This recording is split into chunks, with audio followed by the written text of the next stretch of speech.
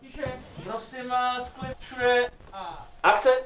Mně se na tom našem vánočním příběhu líbí to, že tak, jak jsme ho pojali s producenty a se spolu scenáristy filmu, že je to vlastně takový plnokrevný příběh, je plný nějakých eh, zajímavých situací, je nabitý událostmi, eh, má tam zajímavé hrdiny. Jako producenti jsme rádi, že se nám podařilo dát dohromady skvělé herecké osobnosti a do toho zapojit mladé herecké talenty. Co tady děláš? Co předvádíš?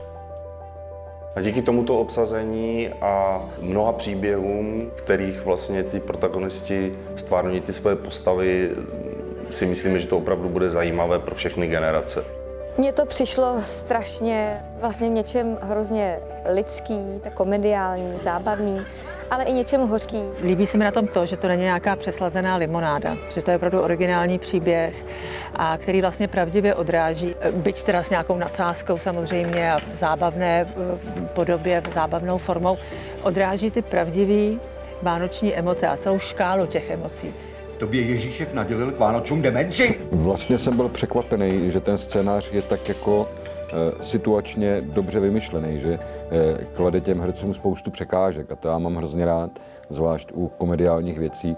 Vlastně ten humor vzniká z toho, když ta figura musí ty překážky jako překonávat a divák ví mnohem víc než ta figura a z toho vzniká samozřejmě jako eh, ta takzvaná komika a to je v tomhle scénáři dobře udělaný. No.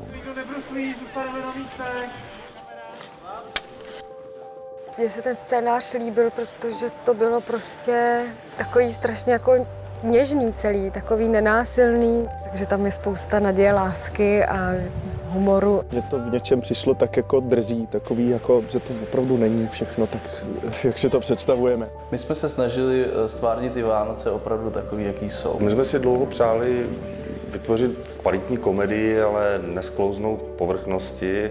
A protože máme rádi tvorbu Iriny Pavláskové, oslovili jsme právě ji. Je bezvadná, strašně milá, při tom režírování je velice citlivá, taky přijde s nějakým velice přesným požadavkem, je třeba náročným herecky, je to opravdu takový eh, jako intimní, eh, příjemný dialog prostě nad tou prací a to já mám moc rád. Eh, Já myslím, že to budou takové Vánoce nevšední a nezapomenutelné pro naše hrdiny a doufám, že i naši diváci si, si to užijí úplně naplno.